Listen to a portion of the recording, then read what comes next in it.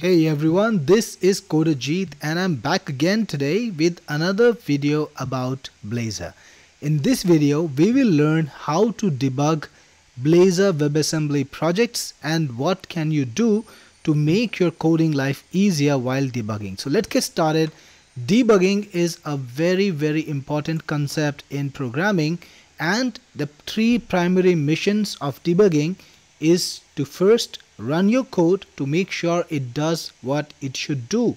So when you've written a function or a method or a piece of code, you want to make sure that it actually does what you want it to do.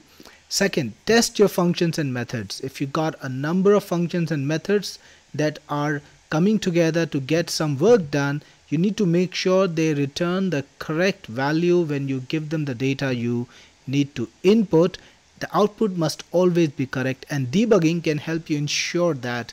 And thirdly to solve bugs and issues. So if you got a problem and you need to fix that problem in your code debugging is going to help make your job easier because you can exactly find out where the problem is and then try to fix it. Now we're talking about Blazor WebAssembly and if you remember my earlier videos from my earlier videos Blazor WebAssembly is actually a technology that divides your web project into two parts. There's going to be a client-side project and there's going to be a server-side project. The server-side project will supply the data and the client-side project will do the presentation. So Blazor WebAssembly is actually a framework that works in the web browser. And the separate part, the ASP.NET Core project, runs in the background just communicating with the client project. So you gotta you gotta debug these two projects separately.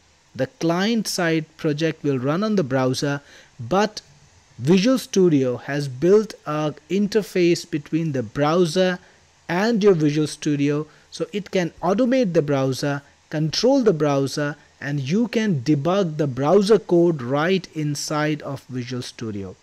Now this technology is not particularly new. It has been around a while uh, for Microsoft Internet Explorer earlier and now it works on Microsoft Edge 2 and also on Chrome.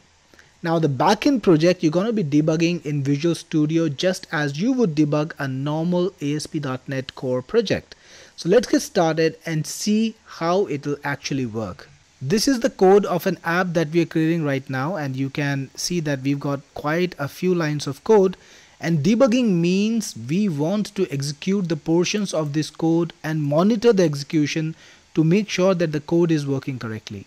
The most important concept that you will need to remember is a breakpoint and wherever in the code you place a breakpoint the compiler will pause right over there and then let you continue manually. So if I want to, to debug this particular function for example, I want to make sure that this line is working correctly, what I need to do is put a breakpoint right over here and then the compiler will pause execution at this line and from here on I can I can proceed manually.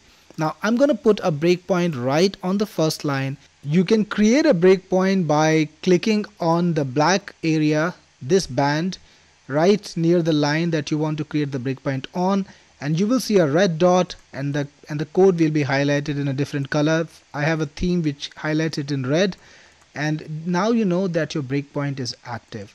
Now if I run the code it will hit the breakpoint. So let's see if that does it. The breakpoint is hit. The line is now highlighted in yellow and you can see there is a little arrow marker which tells you where the code is right now. And I can now continue the execution of the code using the mouse icons over here. You got some options like step into step over and step out. Let me briefly explain what each one does. So when you step into some code you will go inside the function that you're currently on. So for example right now I'm on the get home function this line is the line that will execute the get home function. And if I use step into the execution will go inside get home. And whatever initialization it needs to do that will run of course. And now you can see that we are inside of get home. This is get home executing.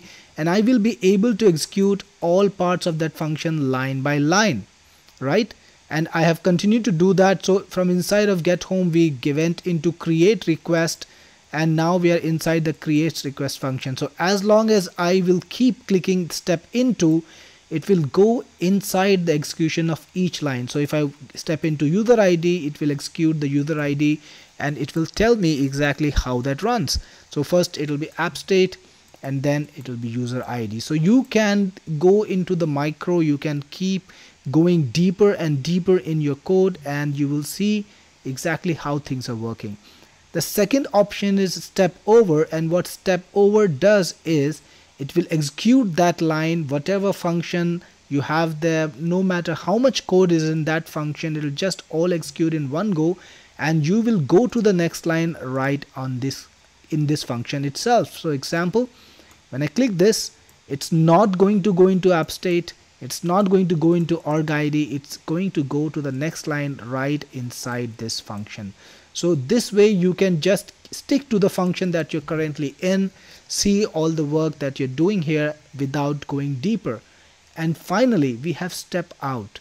So if you've seen everything that you need to see inside of that function and you want to exit it that is you will continue to execute everything but you don't want to see the rest of the execution manually you can click step out and it's going to execute the rest of that function without without you having to monitor it. That is you will just go into the calling function that called it. So we when we are back to get home and if I step out of get home again I will be back to the get data for home function. And now I can continue my execution using the step over method. And here is another function. If I want to go into it I can use step into and it'll take me in there. Yeah there is some initialization. So if you if you got any properties or objects that you're calling they will be initialized. So just get ready for that.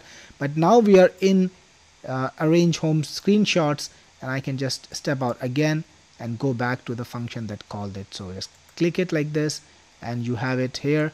You're back in the calling function. So I hope this is clear now when you're debugging you can see the value of any variable by just moving your mouse cursor over it so you can see var screenshot list has a count of 36 and if you expand it you can see all the properties and if there is any other value inside it like this is a collection of items you can see each item in that collection. The other way to see this value, to see these details is using the immediate window. So you can open the immediate window if you've already got it uh, aligned somewhere, you can click on it. And if you don't have it yet, if you want to find it, you will find it in the debug area, debug menu, look for immediate or you can use the shortcut control alt I.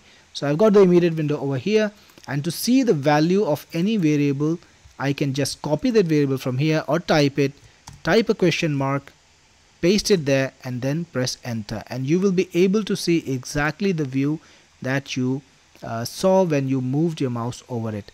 The immediate window can be very helpful sometimes because when you want to dig deeper and check for example one of the items in this collection you can do that in the immediate window and you can see exactly what the item item is what are all the properties and this way you can find a place to execute a command and see the result. You can even execute code statements and functions. For example, if I wanted to see the count over here, I could do that. I could execute a method on this and see what it returns. Another interesting tool that you have is the locals window. Again, you can find it in the debug menu which will give you all the different objects that you have in the current execution function. So you've got activities object, dashboard results, projects list, shots of screen and so on. So you can see exactly what is right now the status of all of these variables and as I execute the function the variables will change according to their evolving values. So for example I think on this particular line we are modifying the activities collection so you can see it's null right now and if I if I click on this line if I execute this line you can see that now the value has changed to count 20 so we know now that the activities collection has 20 items and I can expand it to see each item in detail. So this is another interesting place where you can find the information that can help you check your program and make sure it's bug free and then you also have the watch window where you can put in a variable and watch it. So if the variable's value changes, the execution will stop and you will be able to see what happened. So to add an item to watch, just click on add watch and you can do that directly from the locals window too. Let's go back to the locals window over here.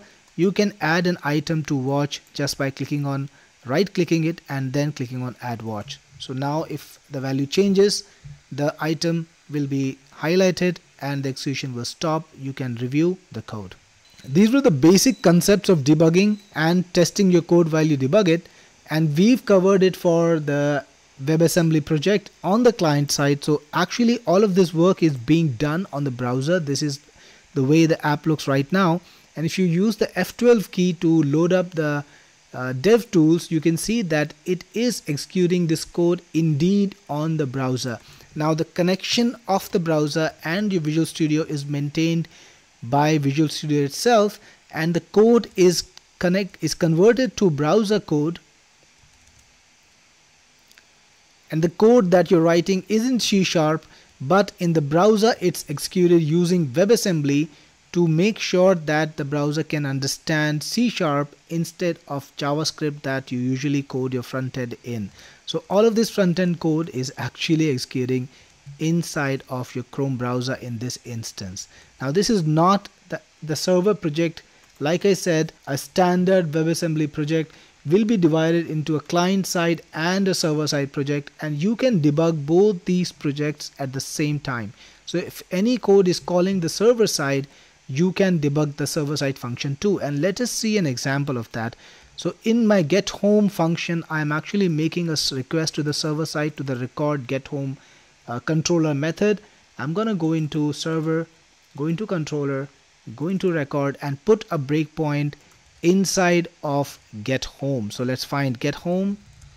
Here we are and put a breakpoint right over here. Now I'm gonna start the execution again.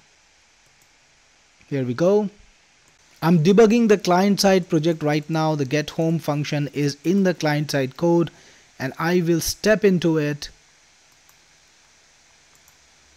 and get to the line where I will go to the server side code.